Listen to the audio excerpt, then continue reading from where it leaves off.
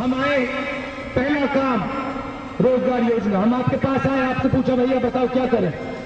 और आपने हमें कहा, देखिए, रोज़गार चाहिए, गाँव में रोज़गार चाहिए, शहरों में आसानी से मिलता है, गाँव में नहीं मिलता।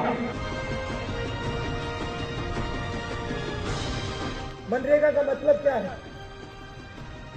हिंदुस्तान के हर गरीब व्यक्ति को 100 दिन का रोज़गार गारंटी करके हमने दिया।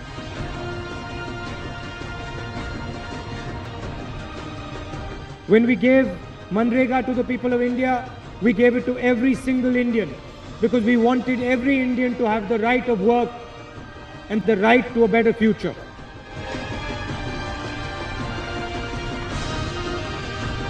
जो भी हमारे बड़े प्रोग्राम हैं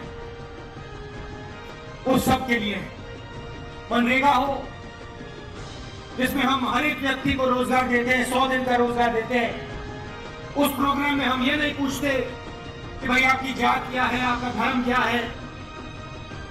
हम सिर्फ़ आपसे एक सवाल पूछते हैं।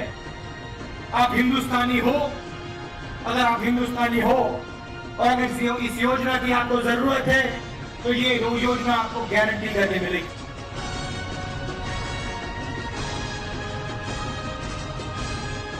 करोड़ों लोगों को हमने रोज़गार दिलवाया।